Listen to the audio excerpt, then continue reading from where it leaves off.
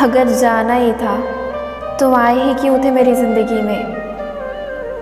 बहुत कोशिश करती हूँ तुम्हारे बिना खुश रहने की। खुद को तुम्हारी यादों से भी दूर रखती हूँ। लेकिन तुम्हारा बस एक ख्याल, बस एक ख्याल, और मेरी सारी कोशिशें बर्बाद।